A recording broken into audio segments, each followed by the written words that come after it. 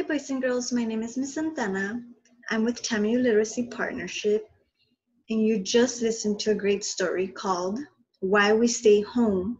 Suzie Learns About Coronavirus, written by Samantha Harris and Devon Scott.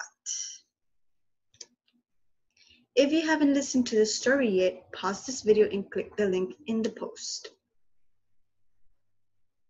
Now that you've listened to the story, let's think about and discuss some important parts of the story.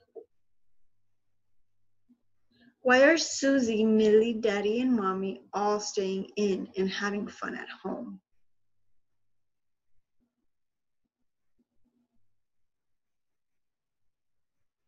They are all staying home because of the coronavirus.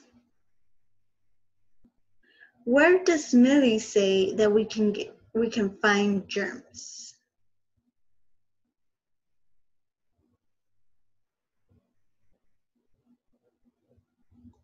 Millie says that we can find germs everywhere. Germs are in our bodies, on chairs we sit on, and even on the door handle to our favorite ice cream parlor.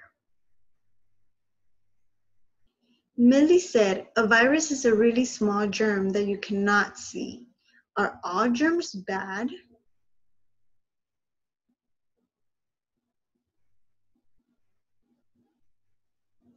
No. Some germs are good, some are bad, and some don't really do anything. How can we prevent the spread of coronavirus?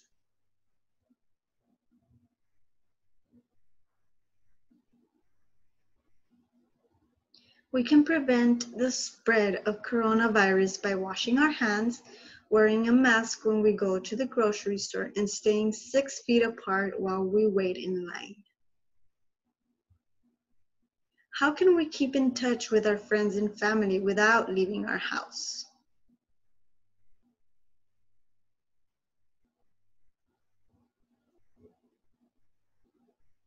We can video chat with them on mommy's computer or cell phone.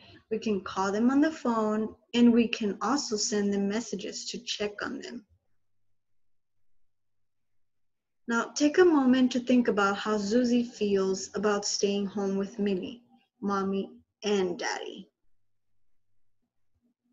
Now write about how you feel about staying home during this quarantine. You can use a graphic organizer like this one to help you brainstorm what you are going to write about.